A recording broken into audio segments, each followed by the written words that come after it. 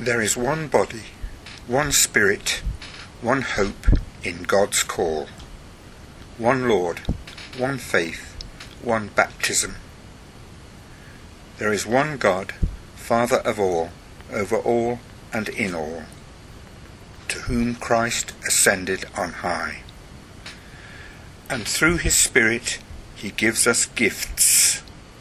Some are apostles, some are his prophets, evangelists, pastors, and teachers he gives us, so we can minister together to build up his body, to be mature in the fullness of Christ.